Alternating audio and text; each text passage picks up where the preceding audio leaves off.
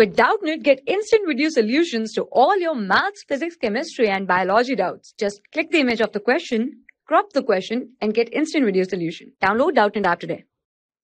The question is composition of the nuclei of two species X and Y. They are given as under. So you're given two species X and Y, and the number of protons and neutrons are given to you.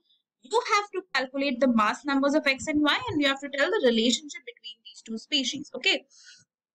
So, if we talk about the mass number, how do you calculate the mass number of an atom? It is the number of protons, right? Plus the number of neutrons, okay? So, it is the number of protons plus the number of neutrons. So, if we talk about X, how many protons does it have? 6. How many neutrons does it have? 6. So, this becomes 12. If we talk about Y, Y has 6 protons, right? And 8 neutrons, right?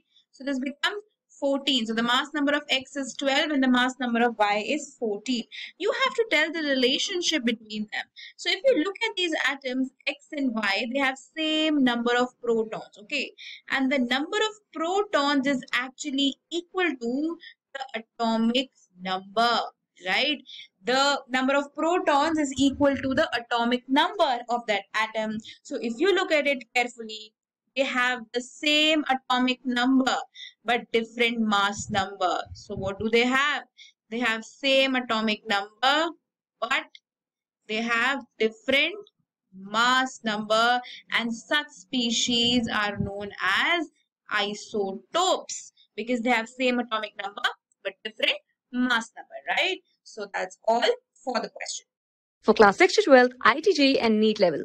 Trusted by more than 5 crore students. Download Doubtnut app today.